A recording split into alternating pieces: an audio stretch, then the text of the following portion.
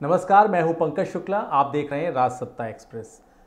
Bharatiya Janata party के वरिष्ठ नेता, चर्चाओं में छाए हुए पूर्व केंद्रीय मंत्री स्वामी चिन्मयानंद अंततः शुक्रवार को अपने मुमुक्षु आश्रम से, शाहजहांपुर में जो उनका आश्रम है, वहाँ से गिरफ़्तार कर लिए गए। तबीयत नासाज होने की वजह से वो दो तीन दिन से अस्पताल में थे। जब वो वापस आए आश्रम में तो एसआईटी ने, पुलिस के एसआईटी ने उनको अपनी हिरासत में ले लिया। जहाँ से उन्हें पेश किया गया सीजीएम कोर्ट में और वहाँ से उनको 14 दिन की न्यायिक हिरासत में यानी कि जेल 14 दिन के लिए भेज दिया गया। बहत्तर साल के आ, स्वामी चिन्मयानंद इस दफ़ा नहीं बच पाएँगे। ये हमने ज़िक्र पिछले वीडियो में भी किया था क्योंकि इस बार जो लड़की सामने आई है आ, उनके उन पर आरोपों को लेकर वो काफ़ी फर्म दिख रही थी और उसकी जो तैयारी थी जो उसके पास सबूतों का अंबार था। जिस तरह के 40-50 वीडियोस बताते हैं कि उसने एसआईटी को सौंपे हैं और जो उसके तेवर थे, जो उसका रुख था, उसमें फिर स्वामी चिन्मयानंद का बचना वाकई बहुत मुश्किल माना जा रहा था। तो हम, आज मैं आपको दोनों पहलुओं पे बताऊँगा दो जानकारी की। एक तो पहला ये कि स्वामी चिन्मयानंद पर जो आरोप हैं और जो धाराएँ पुलिस ने लगाई हैं आईपीसी की उनके ऊपर, उससे उनका क्या अधिकतम हश्र हो सकता है? तो और दूसरा ये कि जो आरोप आरोप लगाने वाली छात्रा है, और वो जो लड़की है जिसने शिकायत की है पूरी, उस पर भी पुलिस का उतना ही ज़्यादा शिकंजा है, और उसके तीन दोस्तों को पुलिस ने गिरफ़्तार भी करके जेल भेजा है। तो मैं इस पूरे दोनों पहलुओं पर आपको विस्तार से बताऊँ।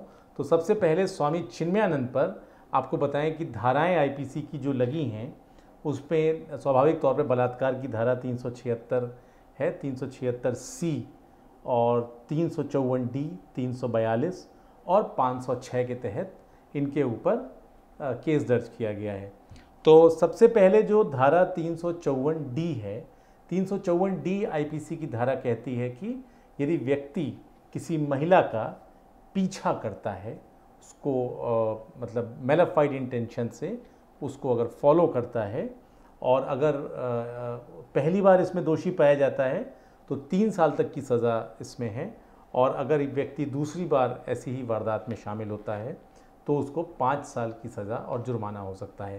तो इन्होंने स्वामी चिन्मयानंद जैसा कि छात्रा का आरोप है उसको ट्रैक किया था और उसका नहाते वक्त वीडियो बनाना और एक तरीके से उसके उसको साजिशन, उसका पीछा करना, उस पर पीछे लोग लगाना अपने। तो ये तीन सौ चौवन डी लगी है। तीन सौ छिहत्तर सी, वैसे तो जो बलात्कार की जो धारा है, वो तीन सौ छिहत्तर आई है, लेकिन तीन सौ छिहत्तर आई चार भागों में विभाजित है ए बी सी डी तो चिन्मयानंद पर तीन सौ छिहत्तर सी लगी है। और तीन सौ छिहत्तर सी का मतलब होता है जब कोई अधिकारी, सरकारी कर्मचारी, जेल, रिमांड होम, हिरासत के किसी अन्य स्थान, स्त्रियों या बालकों की संस्था का अधीक्षक या प्रबंधक या अस्पताल का कर्मचारी होते हुए, ऐसी किसी स्त्री जो उसकी हिरासत में है मतलब उसके प्रभाव क्षेत्र में काम करती है या उसके अधीन है या उस परिसर में उपस्थित है जहाँ का वो सर्वे सर्वा है उस स्त्री से अपने साथ शारीरिक संबंध बनाने के लिए, उत्प्रेरित करने के लिए, अपनी शक्तियों का दुरुपयोग अगर कोई व्यक्ति करता है तो उसको तीन सौ छिहत्तर सी के तहत नाम उस पर मुकदमा दर्ज होता है। और इसमें पाँच या दस साल की कारावास की सज़ा से दंडित किया जा सकता है वो व्यक्ति और जुर्माने से भी दंडित किया जा सकता है।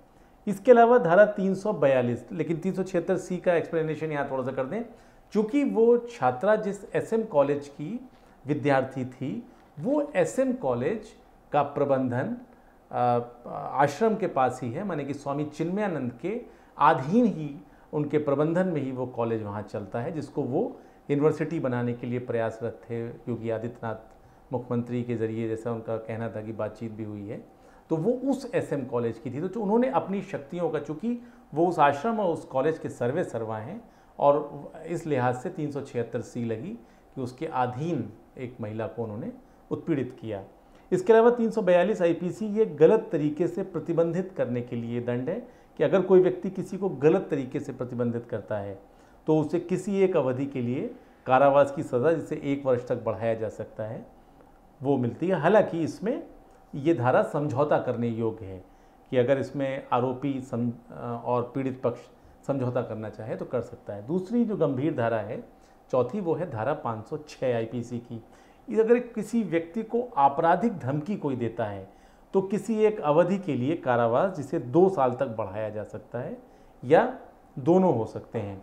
तो ये आ, आ, उसके तहत ये जो है पाई पाँच सौ छः लगती है। इस इस तरह जो धाराएँ स्वामी चिन्मयानंद पर हैं जो इन पर आरोप हैं उससे बहत्तर साल के चिन्मयानंद को 10 वर्ष तक की सज़ा हो सकती है। 10 वर्ष तक उन्हें जेल में काटने पड़ सकते हैं।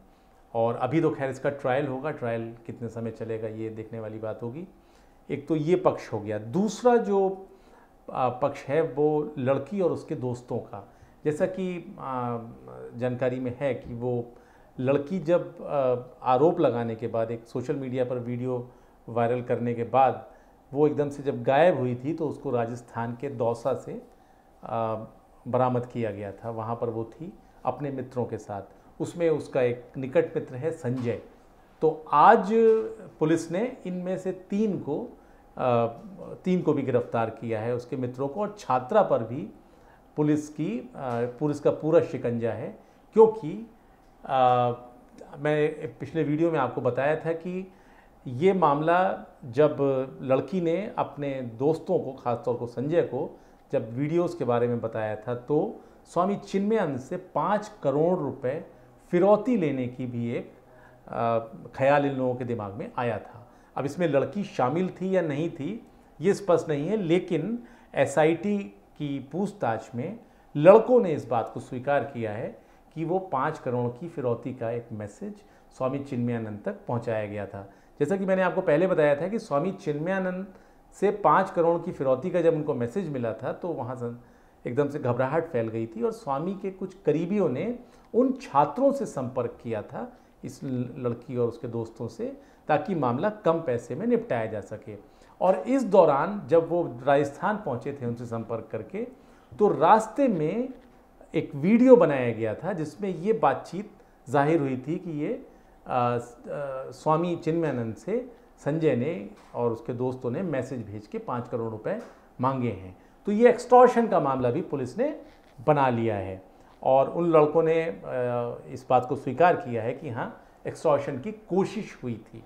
हालाँकि वो बात नहीं, और जो ऑफ़ द रिकॉर्ड बातें हैं ऑफ़ द रिकॉर्ड ये हैं कि बात 25 लाख रुपए तक आके ठहर गई थी, लेकिन स्वामी चिन्मयानंद के कुछ जो खास शुभचिंतक करीबी थे, वो उनको खुश करने के लिए उन्होंने कहा था कि हम 25 लाख से कम में भी समझौता करवा सकते हैं। तो उस चक्कर में ये सारा खेल बिगड़ गया और चूँकि एक्सटॉर्शन का जो वीडियो इन लोगों ने बनाया था, जो लोग गए थे समझौता के लिए, उन्होंने वो वीडियो फेस फेसबुक पे और बाकी सोशल मीडिया पे उसको डाल दिया और इसके बाद फिर तुरंत ही स्वामी चिन्मयानंद का मसाज वाला वीडियो भी सामने आ गया। तो अब इसमें स्वामी चिन्मयानंद का आज गिरफ्तारी हो गई। वो जेल चले गए, चौदह दिन के लिए अब उनका ट्रायल शुरू होगा। लेकिन जो आरोप लगाने वाली लड़की है और उसके दोस्त हैं, वो भी दिक्कत में उतने ही नज़र आते हैं। अभी लड़की फ़िलहाल गिरफ़्तार नहीं की गई है, लेकिन जो एसआईटी के सूत्र हैं, उनका जो कहना है, वो यही कहते हैं कि लड़की का इन्वॉल्वमेंट भी एक्सटॉर्शन में कितना था, ये देखा जाएगा, क्योंकि यहाँ अंत में आपको बता दूँ, दो पहलू हैं। उन्होंने एक तो ये निकाला है कि लड़की की कम से कम 200 बार स्वामी चिन्मयानंद से फ़ोन पर बातचीत हो चुकी थी। और रही वो लड़के जिनसे जो इसके साथी हैं, उनसे लड़की का कॉल रिकॉर्ड जो चेक किया गया है, उसमें उससे 400 दफ़ा उन लड़कों से बात हुई है, जिसमें सर्वाधिक संजय से बातचीत हुई है। इसको पुलिस ने, जिसको उसको उसको भी गिरफ़्तार किया है, जो लड़की का निकट मित्र बताया जाता है। तो ये सारी बातें हैं और साथ ही लड़की की माँ को आ, वहीं पर आश्रम के अंदर जो स्कूल है उसमें नौकरी भी दी गई थी। तो स्वामी चिन्मयानंद के कृपा पात्र परिवार रहा है ये ऐसा ज़ाहिर हो रहा है क्योंकि उस लड़की जब उसकी माँ दिक्कत में थी तो वो शायद लड़की कहने पे स्वामी चिन्मयानंद ने उसकी माँ की नौकरी भी लगवाई थी। तो ये एक आ, आ, आने वाले दिनों में अब एस क्या क्या खुलासा करती है ये बहुत रोचक होगा और फ़िलहाल एसआईटी ने ये बताया है कि स्वामी चिन्मयानंद ने अपने लगे, अपने ऊपर लगे हुए लगभग सारे आरोप स्वीकार कर लिए हैं, मान लिया है। वो बहुत शर्मिंदा हैं, क्योंकि वो इतने पुख्ता सबूत हैं वीडियो, शायद उसमें कुछ बोलने की वो स्थिति में नहीं है। उन्होंने इस बात को एसआईटी के आईजी नवीन अरोड़ा ने आज मीडिया से बातचीत में बचाया, बताया है कि वो उन्होंने सारे आरोप लड़की को बुला के मसाज करवाना और उससे अश्लील बातें करवाना, करना आदि सब स्वीकार कर लिया है और उन्होंने कहा है कि मैं अपने किए पे बहुत शर्मिंदा हूँ। तो अब इसमें दिनों दिन जो जो खुलासे होंगे, उससे हम आपको अवगत कराते रहेंगे। फ़िलहाल के लिए इतना ही। नमस्कार।